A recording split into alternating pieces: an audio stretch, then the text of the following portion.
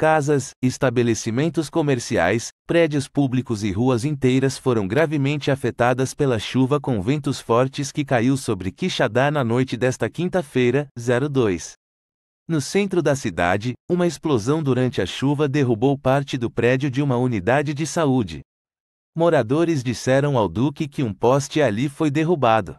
No Alto São Francisco, um outdoor caiu sobre um muro, colocando parte da estrutura no chão. Relatos que chegam dão conta de que casas em vários bairros tiveram telhados arrancados, muros e portões derrubados e outras estruturas danificadas. Veículos estacionados também foram danificados por estruturas que caíram sobre eles, como telhados e muros. Ruas inteiras ficaram alagadas na periferia e em parte do centro da cidade. Veja o vídeo.